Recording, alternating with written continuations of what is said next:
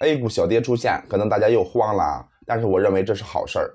二零二二年第四季度大底部已经降临，二九三四点坚不可摧，与二八六三点存在相同能力的支撑效果，震荡反弹才是良好市场。而且这段视频啊，会告诉你哪里是回踩支撑区，哪里是反弹压力区，秉着对股市的多空优缺分析啊，咱们一一揭破当前 A 股不为人知的一面啊，乃至近期 A 股怎么走，闯关三千一百点能够成功吗？各类投资者又该怎么办？耐心看完这段视频都会给你答案。如果你觉得有用，记得点赞加关注。大家好，欢迎收看八大股评。今天是二零二二年十月十九日，你现在看的是周三股市复盘的走势精讲内容。首先，在分析近期 A 股走势之前啊，咱们依然看一下昨天欧美市场走向啊。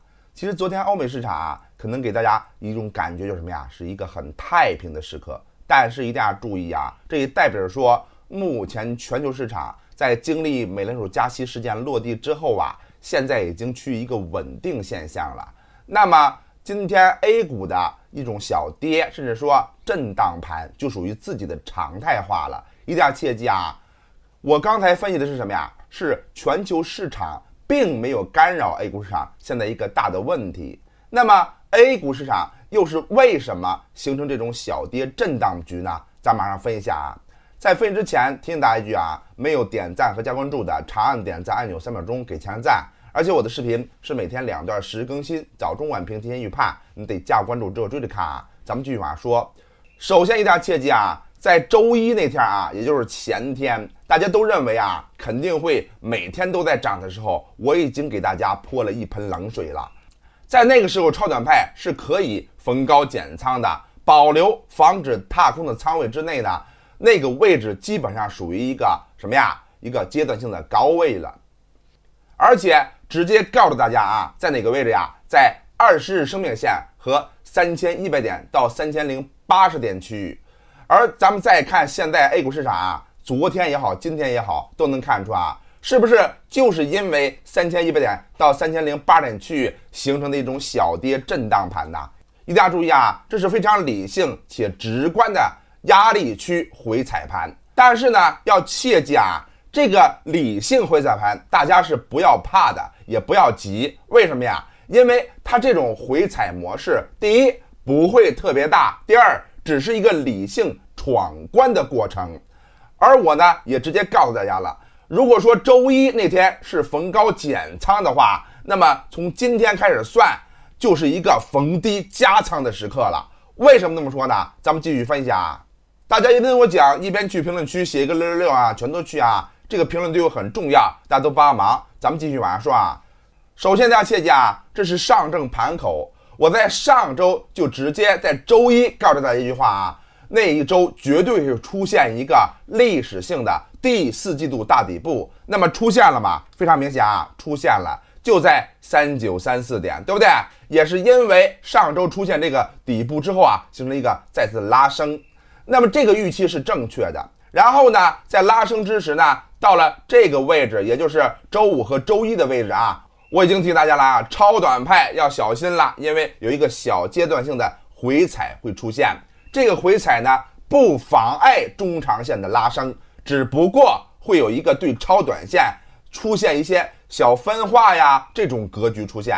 而且呢，我也提醒大家了啊，这个位置你要看是你是哪个派系。如果是中长线，或者说前方亏损极大的，那么这种分化甚至说回踩盘都不用担心。为什么呀？因为大家一定要注意啊！我已经多次告知了，这次二九三四点和曾经二八六三点见底是基本一致的。首先一定要注意啊，他们的共同点是全部跌破三千点之后，只用了两三天个交易日就再次拉上来了。而且呢，第二个共同点是什么呀？都是经历了经济稳着陆再雄起，而且都是因为美联储加息事件的搅动导致的一种回踩盘。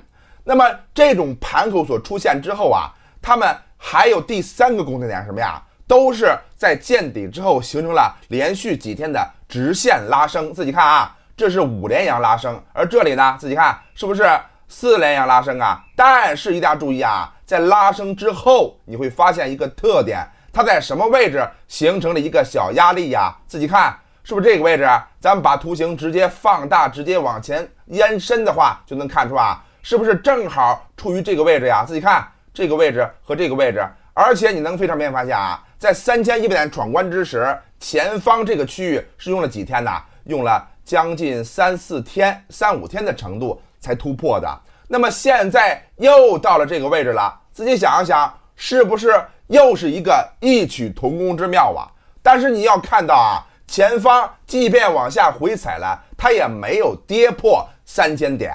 只是一个什么呀？是一个碰到三千一附近所形成的震荡盘口而已。这个震荡盘口确实会出现小阴小阳，会出现制动盘口，但是它没有改变最终结局，还是上移的过程，对不对？而且切记啊，这个位置和这个位置还不一样，咱们这次这个位置更好。为什么呀？因为大家都知道啊，你们知道本周咱们在做了一个大事。我不说是什么事儿啊，因为啊这个涉及太多。但是你们要明白，下周就有利好扎堆出现了。那么这种模式，A 股市场想跌都难了。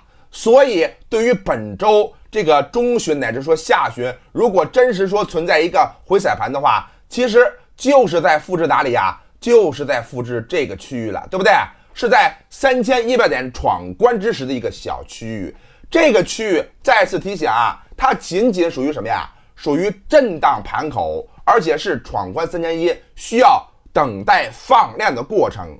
自己想一想啊，是不是这么回事啊？千万切记啊，现在是一个复制盘，所以二九三四点，我当时就直接告知，就是二零二二年的第四季度到底部。那么曾经二八六三点呢，我也提前告知啊，这属于二零二二年最强底部。从现在来看啊，起码说。二八六三点没有跌破吧，所以这个概念还是正确的。那么现在呢，一定要切记啊，咱们把图形放大之后，你会发现一个特点啊。截至目前为止啊，A 股市场这个位置所形成的和前方基本一致。第一，MCD 啊，刚刚第三根金叉，是不是？这种模式也预示说下方后方还是存在继续上拉的，而且即便往下跌的话，现在正碰触于。五日均线，当然说这个小均线啊可以无视，但是起码说连五日均线都没有跌破，你有什么可怕的？而且即便再往下走的话，我在前几天告诉大家三千一百点是一个压力的时候，就已经提前告知了，下方还有一根儿啊十日均线在哪里呀？在三零五零到三零三零点区域。所以如果说真的敢于跌到三零五零到三零三零，反倒是可以低吸的。甚至有可能是这波反弹行情的最后上车机会，一定要切记啊！这次不会跌破二九三四点。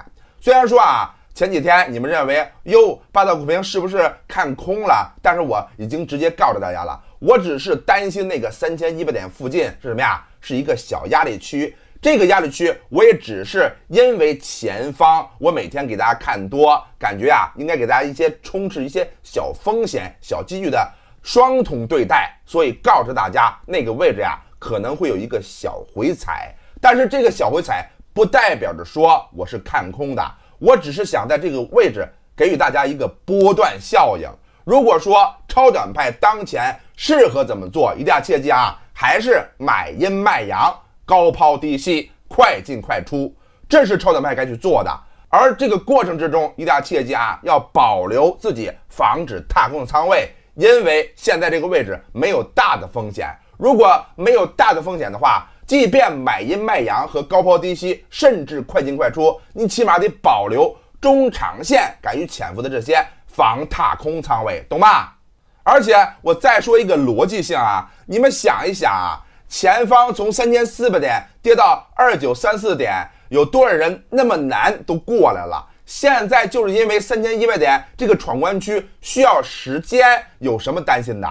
包括我这次已经提前全部告知大家了啊，三千一有压力，然后回踩的时候，如果真实达到三千零五十下方的话，是越跌越买的。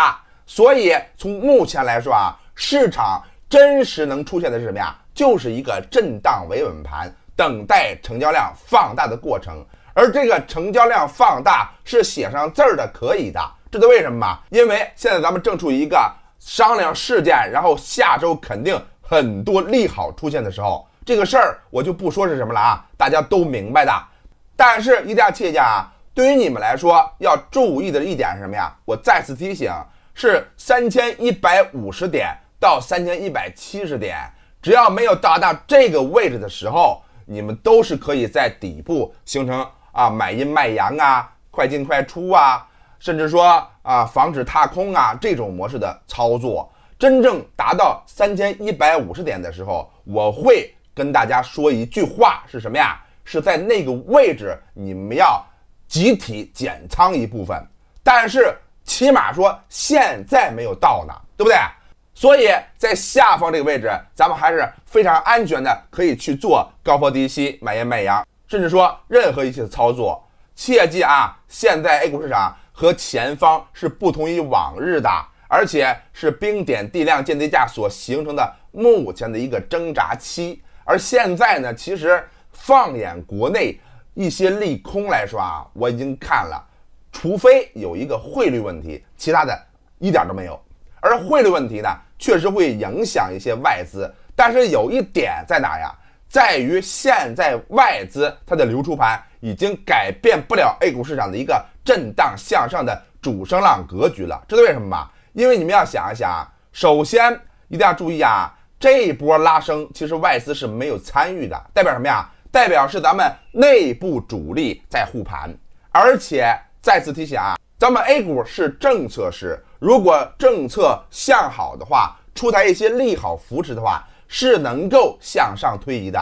而本月就在这几天，你们想一想啊，自己琢磨琢磨，是不是又会很多政策利好出台的？所以总体来说啊，A 股市场又到了政策向上的一个底部向上阶段了。而咱们需要的什么呀？是抛开这些在震荡反弹之中出现的这些小阴小阳，这种模式并不害怕。更多的什么呀？是考验人性的时刻，是考验你们情绪的时刻。也希望大家在这个位置啊，能多份期待和忍耐。八道股评再提醒啊，我不会像原来一样每天都会看多。但是我所看到的压力区是三千一百五到三千一百七，而且我之前已经多次告知了，为什么三千一百五到三千一百七那是一个小压力啊？因为那个位置属于前方多头保护了 A 股市场很久，但是最终结局跌破的过程。那么跌破之后，那个位置就成了一个套牢盘了。在闯关套牢盘的时刻，有可能会有一些大的震荡，但是这里。不会存在，而且再次讲啊，不会跌破三千点，不会跌破二九三四点，就这么简单啊！